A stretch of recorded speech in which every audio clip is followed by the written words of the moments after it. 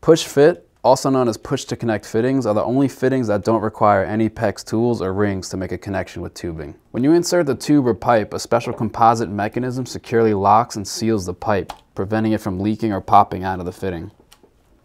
This inner circle right here is a stiffener. Its purpose is to provide extra support when using PEX tubing. Copper pipes don't require this, so you can take this right out of the tube. So just like before you make any connection, you want to start with a nice 90 degree cut.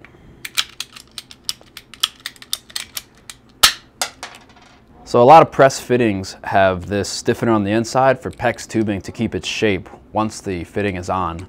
But if it doesn't have it, you can just insert one here.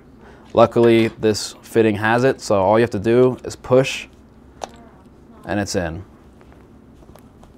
So if the intended use is for copper pipe, you're gonna wanna remove the stiffener to maximize flow. So all you do is take some pliers, you line it up in and just remove it. And of course, anytime you want to make a fitting connection with copper pipe, you want to use a deburring tool to make sure you have a smooth flow. And the last step is the easiest with press connections. You just push it on, and then it's in. And with push fittings, this connection is very easy with this little clip. All you do is line it up here, and you just pull. I'll show you that again with the copper. Just line it up and pull off.